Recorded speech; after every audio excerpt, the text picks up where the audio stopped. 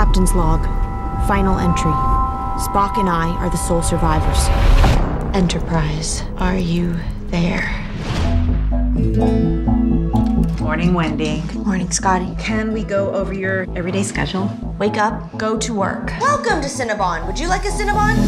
How's your script coming? I just wrote a story where Spock travels to Deep Space Nine. That sounds awesome. 3 p.m., take Pete for a walk. 6 p.m., watch Star Trek before I go to bed. Send in your script highlighting the best of the Star Trek universe. Next week, your sister's coming. There's a Star Trek script writing contest. We can go to the post office and then I can go home with you. Can you please tell Audrey that I'm ready to go home now?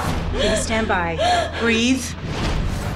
Your completed script must be received by February 16th. Where are you going? Los Angeles.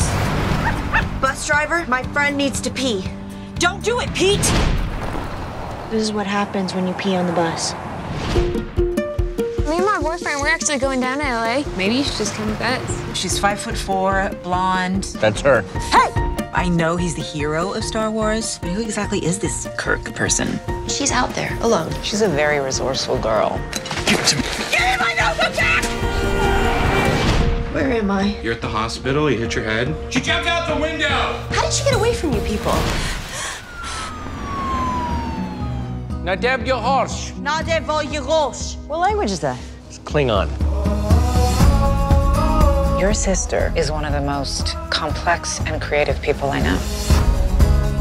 People have their own lives, and after a while, those lives don't include you. Captain, there's only one logical direction in which to go forward.